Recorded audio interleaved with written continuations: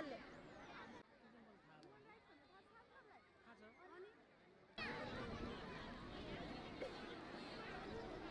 हेर्दाखेरि गोला प्रसादीलाई खेल अगाडि बढ्छ कि जस्तो लागिरहेको छ। एक एक गोलको बराबरी पछि टाइब्रेकरमा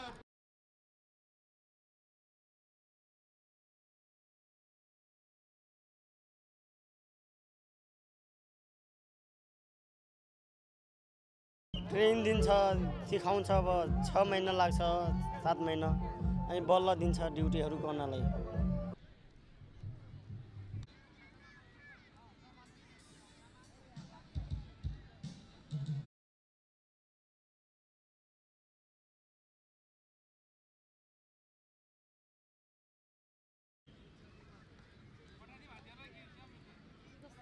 अब हामी सामानहरू किनेर लाउँछ।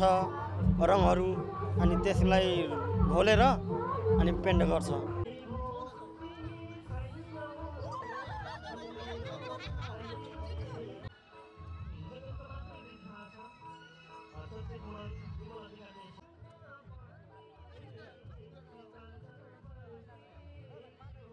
छ।